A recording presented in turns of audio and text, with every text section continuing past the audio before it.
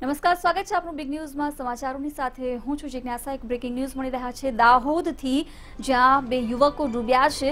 દાહોદમાં બે યુવકોના ડૂબી જવાને કારણે મોત નીપજ્યા છે. ગઈકાલે દશામાના વ્રતનું ઉદ્યાપન હતું. તે દરમિયાન દશામાના મૂર્તિના વિસર્જન માટે આ યુવકો પહોંચ્યા હતા, જ્યાં બંને યુવકોના ડૂબવાથી મોત નીપજ્યા છે. ગરબાડા અને જાબુ ગામે આ બનાવ બન્યો છે. બંને ગામોમાં તહેવારની ઉજવણી શોકમાં ફેરવાઈ ચૂક્યું છે. બંને યુવકોના પીએમ બાદ લાશ હાલ પરિવારજનોને સોંપવામાં આવી છે. બંને યુવકો ડૂબ્યા હતા, જેને લઈ તેમનો મોત નીપજી ચૂક્યા છે. દાહોદમાં બે યુવકોના ડૂબી જવાથી મોત થયા છે. દશા માતાના વિસર્જન દરમિયાન આ બંને યુવકો ડૂબ્યા હતા. ગરબાડા અને જાબુ ગામે બે યુવાનોના ડૂબી જવાને કારણે મોત થયા છે. બંને ગામોમાં તહેવારની ઉજવણી શોકમાં ફેરવાઈ ચૂકી છે. બંને યુવકોના પીએમ બાદ લાશ હાલ પરિવારજનોને સોંપવામાં આવી છે. દાહોદમાં બે યુવકોના ડૂબી જવાને કારણે મોત નીપજ્યા છે. ગઈકાલે દશમાના વ્રતનો છેલ્લો દિવસ હતો ત્યારે દશમાની મૂર્તિના વિસર્જન માટે આ બંને યુવકો પહોંચ્યા હતા. તે દરમિયાન બંને યુવકો ડૂબ્યા હતા અને મોતને ભેટ્યા છે. બંને ગામોમાં ઉજવણી માતમમાં ફેરવાઈ હતી. બંને યુવકોના ડૂબી જવાને કારણે મોત નીપજ્યા છે. લાશને પીએમ કરાવ્યા બાદ હાલ પરિવારજનોને સોંપવામાં આવી છે. શોમાં પણ આપ જોઈ શકો છો, દાહોદની આ ઘટના જ્યાં દશામાના વિસર્જન દરમિયાન આ દુર્ઘટના બની. અને આજ અંગે વધુ માહિતી મેળવીશું. સંવાદદાતા નેહલ શાહ ફોન લાઈન પર જોડાયા છે. નેહલ, દાહોદમાં બે યુવકોના ડૂબવાને કારણે મોત નીપજ્યા છે. શું વધુ વિગતો?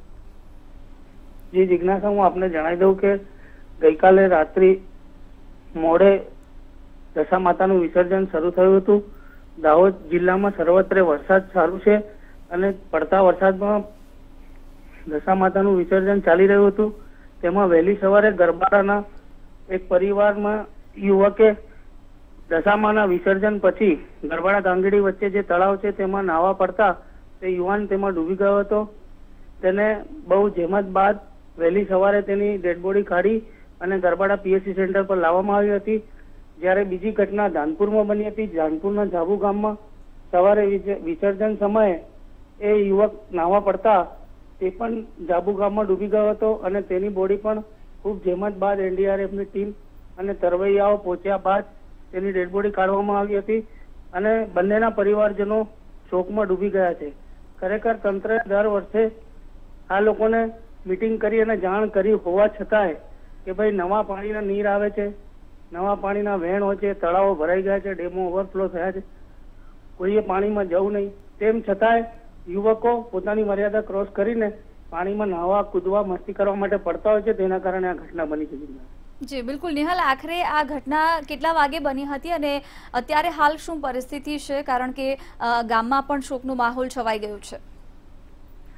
જી હું આપને ચોક્કસથી જણાવી દઉં કે ગરબાડાની જે ઘટના છે એ વહેલી સવારે ચાર વાગે ઘટી હતી અને વહેલી સવારે ચાર વાગે અંધારામાં વિસર્જન કર્યા પછી નાવા પડવું એ એક રિસ્ક જ કહેવાય અને એવું ખોટું કામ કરાય નહીં અને આ યુવાનો પોતાના વડીલો અને મા બાપની વાત માનતા નથી અને આ ચાર વાગે વિસર્જન કરી અને અને મસ્તી કરવા માટે પાણીમાં પડ્યો હતો તેમાં ડૂબ્યો હતો. જ્યારે ધાનપુરમાં સવારે પાંચ વાગ્યા પછીની ઘટના છે. બંને યુવકો એક ગરબાડા વાળો યુવક સત્તર વર્ષની વયનો છે અને ધાનપુરનો યુવક પંદર વર્ષની વયનો છે. જી નિહાલ અને બંનેના સમગ્ર માહિતી આપવા બદલ. તો દાહોદમાં બે યુવકોના ડૂબી જવાને કારણે મોત નિપજ્યા હતા. દશમાની મૂર્તિનું વિસર્જન કર્યા બાદ આ બંને યુવકો નદીમાં નહાવા પડતા સમયે આ ઘટના બની.